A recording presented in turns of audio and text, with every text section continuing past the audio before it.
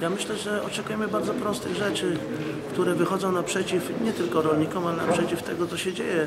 Jeżeli dzisiaj e, pani wojewoda mówi, że muszą być szacunki, żeby, żeby ocenić, że jest strata, że jest klęska, a z drugiej strony wszyscy wszemi wobec trąbią i mówią, że ponad 300 tysięcy hektarów kujawsko-pomorskich to są straty wynikające z zmarznięć, więc, więc wydaje mi się, że rozmawiamy całkiem o czym innym. My mówimy, że dzisiaj trzeba rozpocząć pewne działania, które muszą się zamknąć co najmniej w dwóch tygodniach, naj, naj, najpóźniej w dwóch tygodniach, bo decyzje o e, które, o które, e, które się domagamy, to są decyzje, które muszą zapadać dzisiaj, żeby rolnicy spokojnie poszli i zaczęli pracować i liczyli na, na pomoc państwa w tak trudnej sytuacji.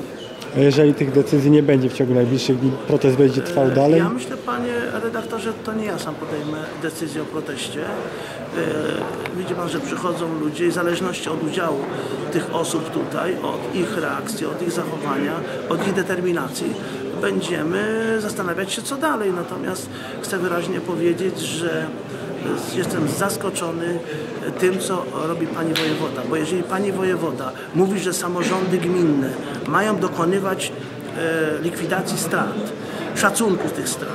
A, ale po to się to robi, nie dla statystyki, tylko po to się to robi, żeby pokazać y, i dać szansę rolnikowi, żeby mógł złożyć y, wniosek o kredyt klęskowy, którego nie ma, o, ponownie, o, o wsparcie do, do zasiewów ponownych.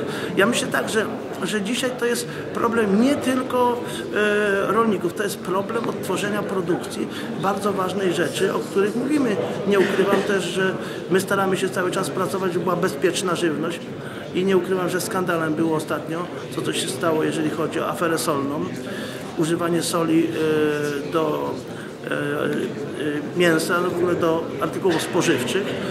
Tutaj trzeba wyraźnie powiedzieć, że już jest sygnał, że Rosja zamyka nam rynek między innymi z tego powodu, więc to są błędy rządu, które będą bardzo kosztowne dla podatnika, nie tylko dla, dla rolnika.